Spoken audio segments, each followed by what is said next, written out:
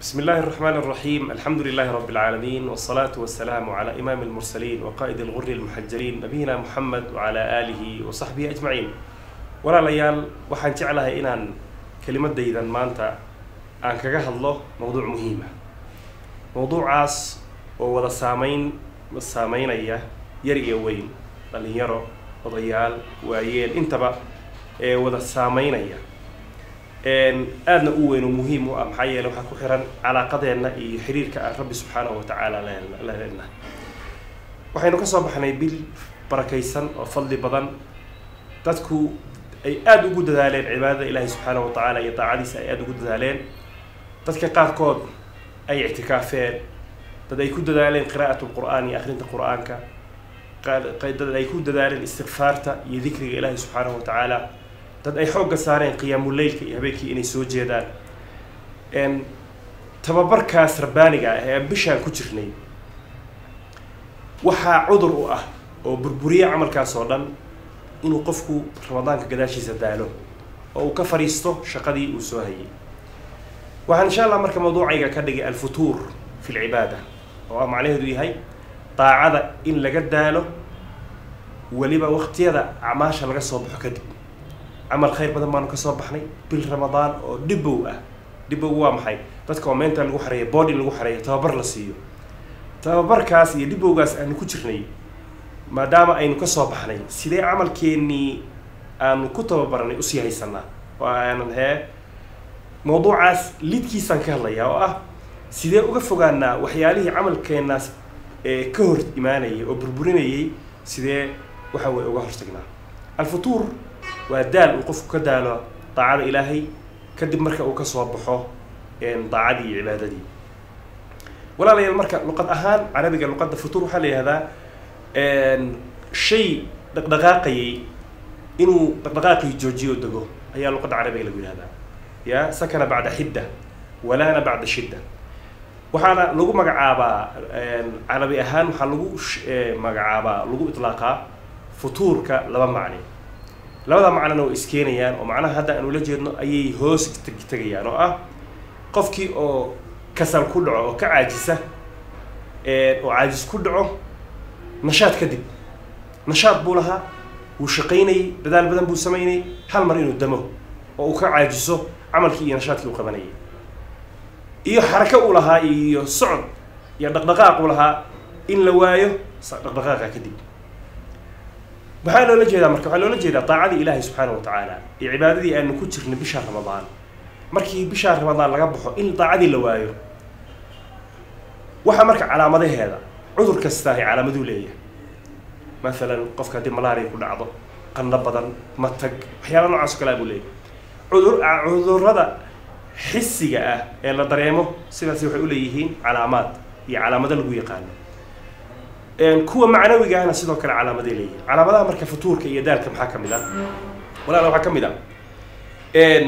Qofka oo qur'aankii uu akrin jiray ka sii jeesta. Maalintii jus laba jus saddex jus buu akrin jiray. Wuu ka gaabinayaa wuu ka fariisanayaa wuu ka caajisayaa waxay ka mid tahay calaamadaha cudurka la yihahdo alfutuur iyo daalka daacada ilahay laga daalo. Waxaa sidoo kale ka mid ah in laga sii jeesto qiyaamuleylkii bishaa ramadaan lagu tababaranayay. Salaatu taraawiix baa la tukanayay. Tobanka dambena salaatu taraawiix iyo salaatulqiyaam labadaba waa loo istaagayey kastoo ay waaxid yihiin isku mid ay yihiin. Xoogaa baa loo nasanayay kadib baa salaatuleylka loo soo kacayay ya? Bisha oo dhan qofku wuxuu ku jiray salaatuleyl buu ku jiray. Salaatuleylka inuu isaga sii jeesto uu xataa witrigii awoodi waayo inuu tukado witrigii halka ragca ah ama saddexda ragcadood ahaa sidoo kale waxaa ka mid ah masaajidka iltizaamka masaajidda la iltizaami jiray oo la waayo qofku masaajidka uu ku raagi jiray oo uu dikriga ilaahay subxaana watacaala ku xusi jiray oo uu ku nasan jiray oo qalbigu ugu degi jiray inuu ka dhaqaaqo oo waqtiyada salaadaha la aqimaya keliya uu masaajidka xasuusto. Waxaa sidoo kale ka mid ah dikriga ilaahay oo qofka waxa weeye uu ka mashquulo uu ka caajiso. Soo wadan garan waxaa laga yaabaa bacda salaat subx inuu laa ilaha ila allah waxdahu laa shariika la lahu lmulku walahu alxamdu huwa calaa kulli shayin qadiir uu boqol jeer ohan jiray. Istikfaarta boqolaal jeer inuu ohan jiray. Maxaan ku rahdaayey tasbiixda inuu boqolaal jeer ohan jiray. Laakiin markii cudurkaas uu ku dhaco waa la waayayaa. Dikrigaas oo dhan waa la waayaya walaalayaal. Waxaa sidoo kale ka mid ah qofku bisha ramadaan indhaha wuu laabtaa isagoo le waa sooman tahay war ilaahay ka baq nafta la diriraya. Laakiin bishu markay dhammaato kadib markii cudurkaasi qofku uu ku dhaco futuurka iyo caajiska ahi waxaa moodaa in xarga laga furay xarga uu ku xirxirnaa in laga sii daayay baa moodaa. Indhihii waa sii daynaya. Soo ma jeed? Banaankaasuu istaagaya wuu la raacaya indhihii dumarka walciyaadu billah. Sidoo kale waxaa ka mid ah qaswat lqalb qalbigoo qalala. Waxaa laga yaabaa bisha ramadaan taraawiixda in lagu ooyo tahajudka in lagu ooyo ilaahay subxana wa tacala baryadiisa in lagu ooyo. Soo maadan garan laakiin bacda ramadaan in la waayo qofku iska waayo cudurrada ayay ka mid tahay. Futuurkaas marka walaalayaal iyo cudurkaas futuurka la yihahdo ee aan calaamadihiisa soo aragnay soo maadan garan iyo raadka iyo saameynta uu qofka bini aadamka cibaadadiisa ku yeelanayo haddaan soo aragnay aan u gudubno sababta rasmiga ah ee cudurka keentay. Maxay tahay asbaabta cudurka keentay? Walaalayaal asbaabta waxaa ugu muhiimsan kow qofka oo aan iimaankiisa jeegarayn hadda waxaa la yihahdaa qofku markii uu sanad laba sano joogaba inuu isjeekareeyo oo uu dhakhaatiirta u tago oo uu wadnihiisa beerkiisa keliyihiisa sooma uurku jirtiisa xubnaha ugu muhiimsan oo dhan maskaxdiisa kulli uu baaro. Soo garan. Iimaankuna sidaasoo kale walaalayaal u baahan yahay in la baaro. Oo mar walbaba laga warhayo oo la raadiyo talo iimaankaagu ma ziyaaday mise maxaan ku rahdaay waa uu nuqsaamay ma hoos buu u dhacay. Ahlu sunna waljamaca waxay aaminsan yihiin iimaanka qofka mu'minka ahi inuu marna ziyaado marna uu nuqsaamo waxay ku xihan tahay hadba daacada ilahi si ugu dadaalo. Nuqsaantaas iyo ziyaadada walaalayaal salafka ridwaanullah calayhim waa ay ka hadli jireen waa ay ka warrami jireen in qofku ismiisaamo inta aan qiyaamo la miisaamin oo iska warhayo habeenkii markuu gurigiisa yimaado uu ka jeeggareeyo ka eego maan maalintaa waxa uu qabtay oo camal saalix ah. Soo madan garan yacni ibnu mascuud baa radi allahu anhu laga sheegay in uu yidhaahdo ohan jiray waxaan aada uga shallayaa in gabalku ii dhaco maalin in gabalkeedu ii dhaco anuu wax camala qaban. Soo madan garan maxaa yeelay waxay ahayn dad markii sariirtooda ay tagaan xisaabtama oo yidhaha talow maxaa maanta camaloo wanaagsan oo aad samaysay maxaa xumaanoo samaysay? Maxaa khaladahoo kaa dhacay? Kadibna hadday acmaal wanaagsan sameeyeenna ilaahay ka baryaya bay ahaayeen. Ilaahu noo ziyaadi camalkaas saalix oo wanaagsan. Hadday xumaan ku dhaceenna istikfaar iyo dambi dhaaf ilahay weydiistay ahaayeen. Marka sababtaasi waa sababta koowaad. Qofku iimaankiisa maba jeegaraynayo kama warhayo. Talow maxaa u ziyaaday? Talow maxaa ka nusqaamay? Qofkuna wuu dareemi karaa. Wuu dareemi karaa lambarka labaad sababta labaad waxay walaalayaan qofka oo ama ilaawa ama jaahil ka noqda waxa ilaahay subxaanahu wa tacaala dadka mu'miniinta jannada ugu diyaariyey subxaanahu wa tacaala. Qofkaasi ama jaahil buu ka yahay waxaa laga yaabaa qur'aankii inuusan fahansanayn wacdiga iyo waanada inuusan dhegaysanayn ama qofkii diintii waa yaqaanaa yatajaahal yatanaasa wuu is ilowsiinayaa ya wuu iska mashquulinayaa ma eegayo waxa ilaahay subxaanahu wa tacaala uu dadka mu'miniinta jannada ugu diyaariyey. Maa laa caynun ra'at walaa udun samicat walaa khatara calaa qalbi bashar. Soo madan waxaa maskaxdeenna marna ku soo dhicin ayaa jannada ilahay noogu diyaariyey. Haddaanu cunto doonayno noocyadii ugu dambeeyey. Nasniino haddaan doonayno nasniino rasmi aakhira lagu helayaa iyo jannada ayaa lagu helaya dumar iyo xaasas haddaan doonayno xaasaska kuwa ugu wanaagsan baanu ku helaynaa. Soo madan meelaan la daarayn oo qofku uusan camal qabanayn oo uu nasanayo keliya wey qofku marka hadduu mar walbaba jannada iyo fadligeeda iyo wanaaggeeda iyo maxaan ku idhahdaaye khayraadka ay leedahay mar walbaba akriyo oo mar walbaba isxasuusiyo qofkaas iimaankiisu wuu jaajgaraysmayaa sida bateriyada mobaylada aanu sidano aanu maalin walba u jaajgarayno ayaa iimaankeenun u baahan yahay in sidaa loo jaajgareeyo waxyaalaha lagu jaajgareeyana waxaa ka mid ah qofku inuu mar walbaba xasuusnaado waxa ilahay agtiisa u yaalla hadduu camal wanaagsan sameeyo nambarka saddexaad walaalayaa waxaa weeye oo sababta u noqda qofku in uu futuurkaas iyo daalkaas iyo ka gaabinta camalka saalixa uu ku dhaco cibaado markuu ka soo baxo kadib. Maxaa ka mid ah. Waxaa ka mid ah inuu qofku uusan marna ku fakerin dembiga ka dhacaya inuu cuquubo iyo ciqaab leeyahay adduun iyo aakhiraba. Isdareensiin mayo qalbigiisa kuma jirto ka fakari mayo. Soo madan garan in waxaan uu samaynayo adduunka raadkeedu inuu ku dhici karo. Soo madan garan in adduunka looga goyn karo. In maxaan ku rahdaa walidalika ducaa lmu'min waxaa ka mid ah walaa tusallit calayna bidunuubina man laa yakhaafuka walaa yarxamuna. Baanu ku ducaysanaa ilaahayow dembiga aan samaynayno dartiis ha noogu salladin oo ha nagu ciqaabin. Dad aan naga noo naxariisanayn adigana aan kaa baqayn rabbiyo qofka marka waxa laga yaabaa dunuubta uu la imaanayo mararka qaarkood ilahay inuu ku sallido isagoo la doonaya dembi dhaaf in looga dhigo. Qof aan ka waxa weeye u naxariisanayn ilaahay aqoon oo siduu doona ka yeela walciyaadu billah. Ilahay baan subxana wa tacala ka magan galnay soo wadan garan. Idan walaalayaal salafkeeni ridwaanulcayn ayagoo dhanka ka hadlaya ama qodobka ka hadlaya waxay odhan jireen nin ka mid ah waxaa laga sheegay wallaahi dembiga aan sameeyo raadkiisa waxaan ka arkaa ahalkayga iyo neefka daabadaaya oo aan wato aan saarnahay ama faras ha noqdo ama dameer ha noqdo ama ama ama neef geel ha noqdee saamayntiisa walaa wuxuu leeyahay ninkaa salafkaah dembi markaan ku dhaco saamaynta uu leeyahay dembiga waxaan ka dareemaa xaaskayga iyo iyo ahalkayga ayaan ka dareemaa iyo gaadiidka aan saarnahay ayaan ka dareemaa qof marka waa inuu baraarugsan yahay marka qaarkood markay wax ku dhacaan inuu is yihahdo talow waxaan ciqaab amay u tahay dembi aad samaysay amay u tahay. Ilahay waxaan ka baryaynaa subxaana wa tacaala yaa rab ilaahow waxa aanu sida khaldan ugu dhacayno doqoniinadu inoo geysanayso jahligu uu noo geysanayo rabbiyow nagu ciqaabi. Waaya waxaa sidoo kale ka mid ah asbaabta keenta qofku inuu ka gaabiyo cibaadada ilaahay oo uu ka caajiso inuu qofku adduunku la weynaado.